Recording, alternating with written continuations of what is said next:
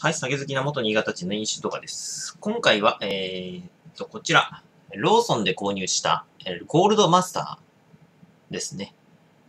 えーこちらが、えー、と、第3のビールです。えーアルコール度数6%。えー、と、原材料が発泡酒、カッコ、コーンスターチと、えー麦芽と大麦とホップと、えースピリッツ、カッコ、大麦。えー原産国が韓国となってますね。ああ。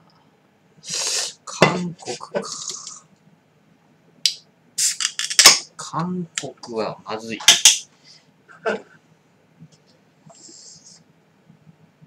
韓国はまずいですよ。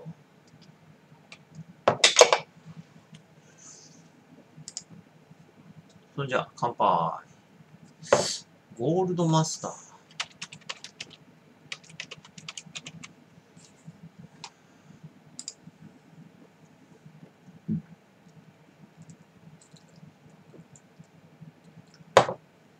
えローソンセレクト初第3のビールが登場。え4月25日より全国のローソン酒販売店でって書いてありますね。えーこれの糖質オフバージョンもあるみたいです。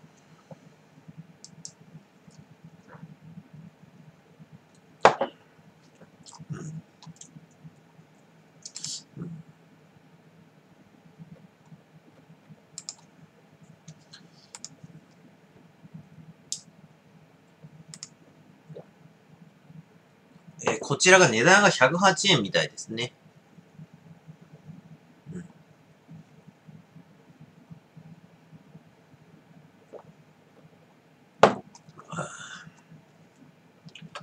では、最近ですね、あのタバコをやめたからか知らないんですが、あの、あの、つまみがね、非常に、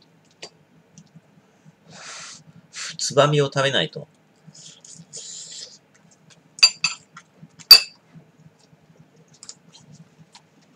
酒が飲めない体質になってまして。なってきましたね。で、今日ですね、あの、箸でご飯食ってたらいきなりあの、あの箸が折れたんで、今仕方なくフォークで食べてます。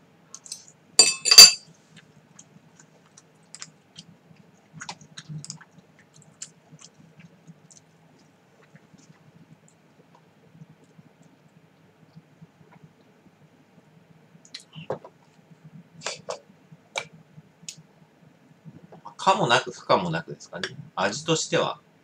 別に変な癖、あの、韓国だからっつって変な癖があるっていうわけでもないんですけど、個人的に買いたくはない。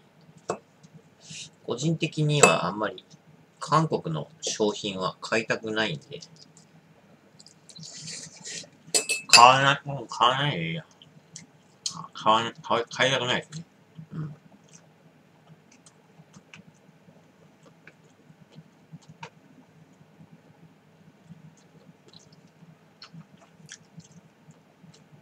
なんかここの、ん？なんだこれ？なんか韓国推しのブログがあったから、見るのやめた。そっと閉じた。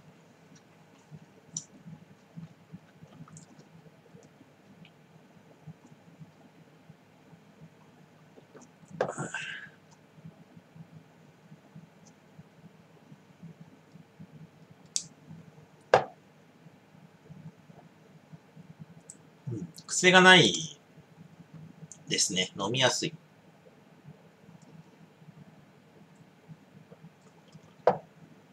うん癖がなく飲みやすいんだけど、コクはない。薄い。こんな感じですね。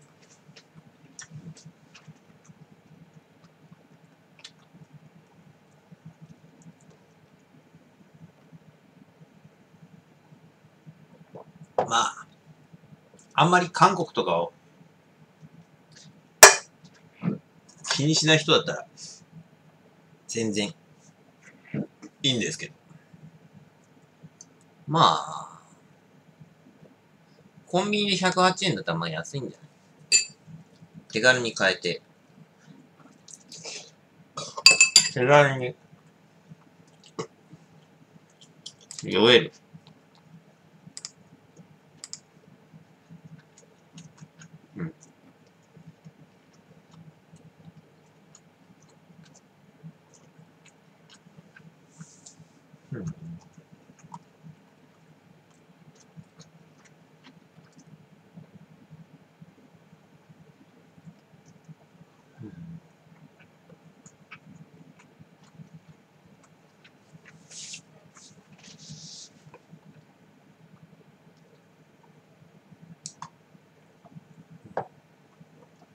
確かに。ほんのりちょっと甘みがあるような。ほとんど苦くはないんで、逆になんか甘さを感じるような味ですね、これ。どっかのブログに書いてあったんで、そのまま言います。ね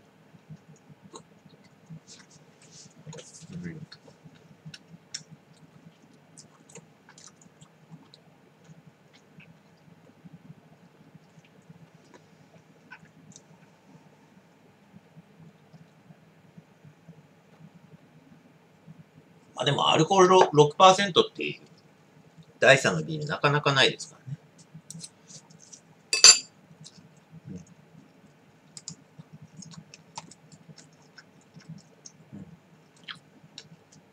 特にも癖もないし、まあ俺は韓国産だからもう買わないけど、うん。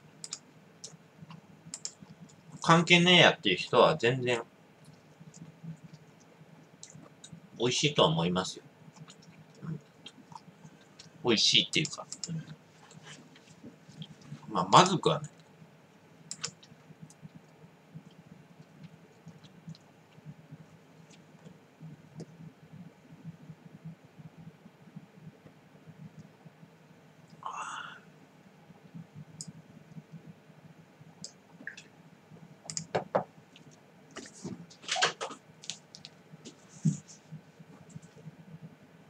9月の24日。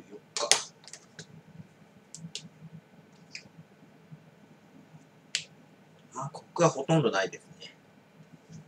コクはほぼなし。甘みが若干ある。香りはない。近い。快活と、あ、微妙でしょうな。1323です。ご視聴ありがとうございました。